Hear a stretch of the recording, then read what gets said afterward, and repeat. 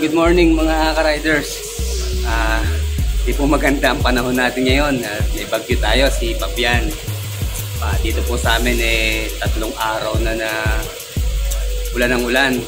Pero to, may bibilin tayo eh. Malaking items yung bibilin natin kaya kailangan kong sumimple.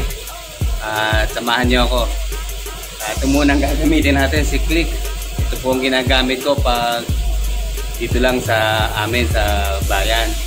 Pag long ride naman po, ayun si ating RFI ang ating ginagamit. Eh, pahinga muna ngayon kasi napapabayaan ko nga po itong siklik. Parang bisikleta rin po kasi ang motor eh. Pag hindi nyo ginagamit, parang kinakalawa nga medyo kakaroon ng problema pag napapabayaan. Kaya ito, gamitin natin at ito naman ay oil lang. Kaya tara, ah, samahan niyo po ako. Kaya payahe tayo at makita natin ang sitwasyon din sa labas. Tatlong araw ako hindi lumabas eh. Malamang baha na rin po dun sa ibang lugar na dadaanan natin. Sige tara na. Three, two, one, go.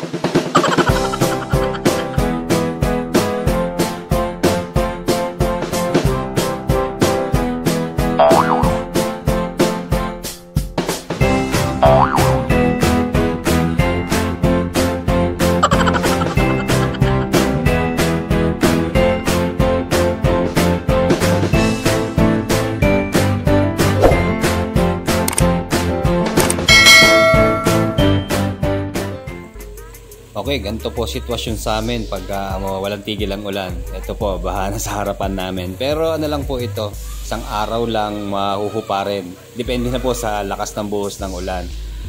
Pero dahil nga pumalapit tayo sa Laguna Lake, kaya katulad niya, no, sa aming basketballan, eh, walang makapaglaro, baha na talaga.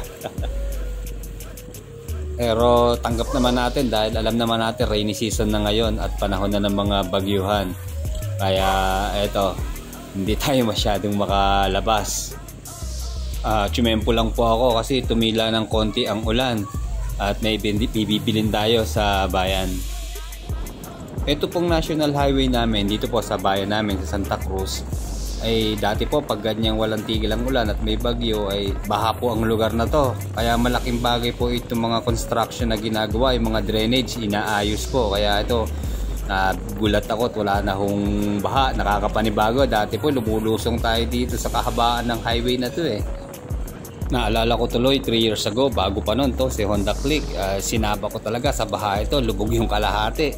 Ayun, bali namatayan na nga po tayo. Yun lang ang kagandahan, pinahinga lang namin.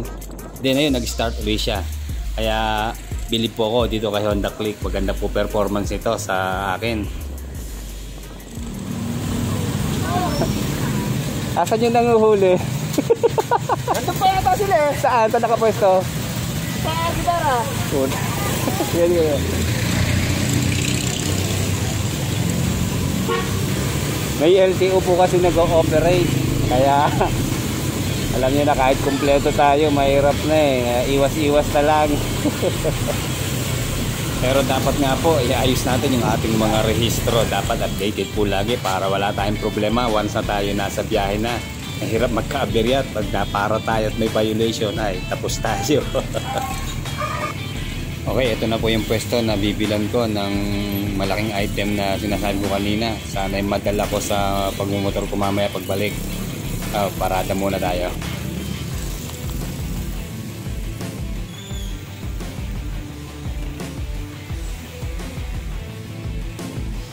Okay, nandito po tayo sa 88 bolts and nuts. At meron nandito po yung malaking item na bibili natin. Ito lang po mga karere, tornilyo lang po. Kaya uh, papasok tayo sa loob. May nag-request po kasi na kaibigan natin, walang mabilan dun sa lugar nila ng gantong Allen bolt. Kaya titingnan natin kung meron dito. Sige ba, tara, pasok tayo. May ganito kayong size. Okay, ito po, meron. Meron akong nabili din sa kanila. Bali, tinanong ko po doon kung anong sukat nito ay 8mm daw po ito, itong kabuang sukat nitong Allen bolt na to. Pero yung ginagamit ko na Allen wrench, ang sukat nito ay ito po yun eh. Ang sukat po nito ay ayun. 7 by 32 ito itong Allen bolt na to. Itong pinaka to, itong butas niya yan. 7 by 32 ang sukat niya. Marami po kasi nagtatanong sa akin sa nagko-comment sa YouTube kung ano yung nilagay ko dito sa aking kabitan ng side mirror. Di nga po ba inalis na tong sa handle at naglagay na tayo ng side mirror dito sa may bracket. So may nilagay ako po dito na axle cap lang po. Ah, papakita ko po sa inyo.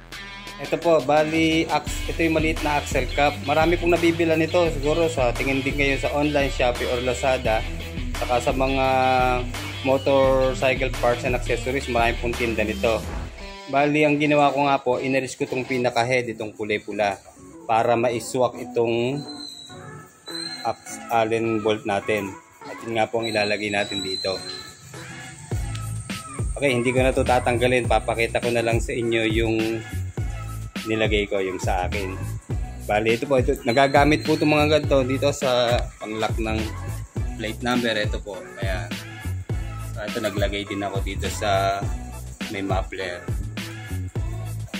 Bali, ito po itsura niya pag tinanggal yung pinaka-head. Ayan. Kaya naman po tinanggal kasi hindi papasok po yung allen bolt nga dito sa butas kasi ito nga po maliit yung butas nito eh.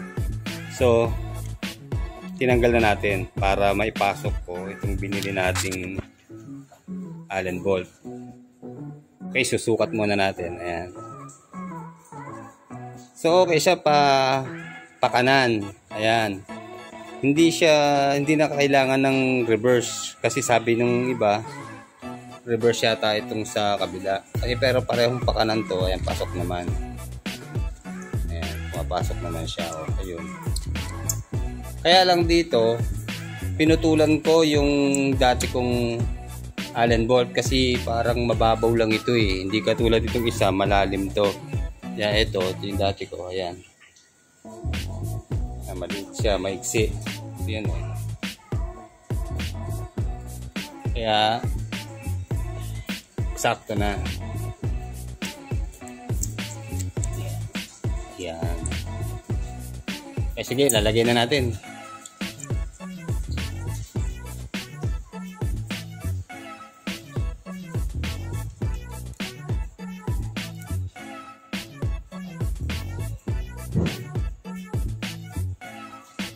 Ito ah, bali 7 by 32 yung size nung ano, Allen wrench.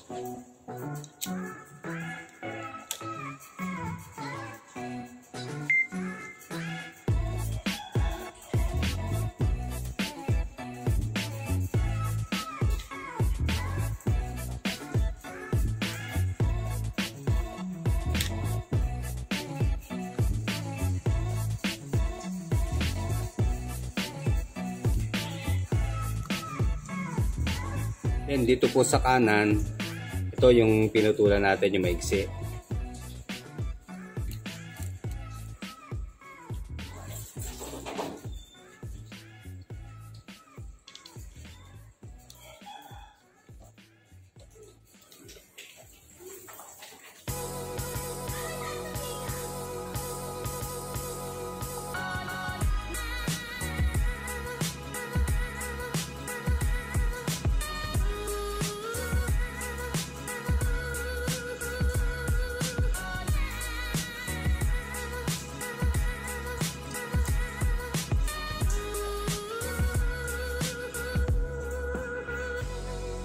Okay, ayan.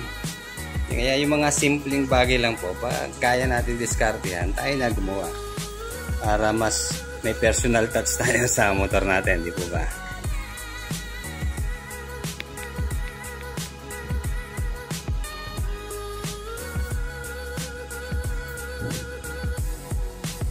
Then meron pa hong isa akong napansin na comment nga po dun sa ating mga videos na ginawa.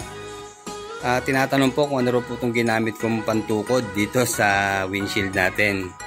Bali ano lang po ito, cart and rod. Marami pong mabibilan nito sa mga hardware. Bali ito po siya. Ayan. Tumabas lang po tayo ng piraso.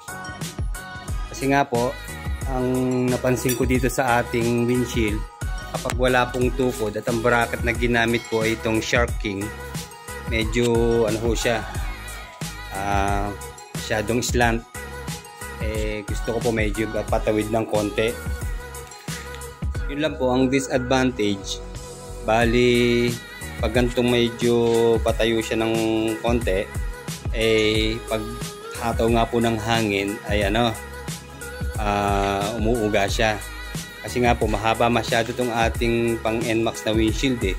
Pwede po siguro dito, bubutasan natin ng panibagong dalawa sa taas para balanse na siya. Kasi nga po, medyo, medyo mababa yung kanyang dalawang brace eh. Siguro dapat para balanse, dalawa pa rito. Pero sa akin hindi ko na po nilagyan.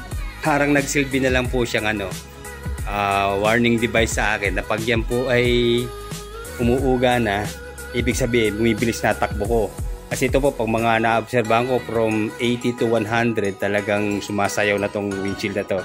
Kaya ibig sabihin na huwag tayo magpatakbo ng mabilis. Kaya para sa safety na rin po siguro natin. Pero sa sa inyo po, kung anong gusto nyo yung discarding gawin dyan, dagdag na lang kayo dito. Ito may kabitan naman po. Ito isa pa po, itong in-improvise ko. Bali ito po ay, kaya ng sabi ko, yantok lang po ito. Tapos ito, meron pa tayong another na parang axle cap din ito na ang nilagay ko po dito ay wood screw kasi yantok nga po ito parang kahoy kaya kapit na kapit po itong wood screw na to magkabila ito bali patulis ang dulo po niyan hanggang kabila ayan kaya matatag po ito hindi basta basta luluwag kaya yun po, sana makatulong sa inyo yung mga personal na discarding ginawa ko po sa RFI natin. Okay, bago po tayo magtapos, shoutout muna at pasasalamat po sa mga sumusunod sa Sining at iba pa. Kay Lawrence Saltok. Kay Dexter Pronda, maraming salamat po sir. Kay Perns TV o Perns Motovlog. Shoutout po kay Joshua Gingging at Robin Reyes. Kay Juan Biahero Trips, shoutout sir, maraming salamat. Kay Biaherong Pinoy, maraming salamat din po sir. Thank you po RDP Dreams Channel, salamat po sa suporta. Shout out J Rides TV at Remy Robedillo. Salamat po Sir Jimbo Olonan. Maraming salamat din po Sir Rolly Cabaltica. Shout out Robert Morrissey at Lone Rider TV. Monching Vlogs at Melotan Vlogs. Maraming salamat po. Shout out Segundo Maestro. Salamat po sa inyong suporta Cool KM at Mag Music is Live. Cars Journal at Melvin Verdeflor TV. Shout out. Salamat po Perlitz Morales at Mosadeg Angeles. Shout out po Sir Abel Domingo at Sir CG. Then thank you po sa suporta Purple Sports TV. Shout out RevSafe Rider PH at Sep Motovlogs. Then salamat din sa support kay Loosen Up TV. More power. Sige po, hanggang dito na lang. Salamat po.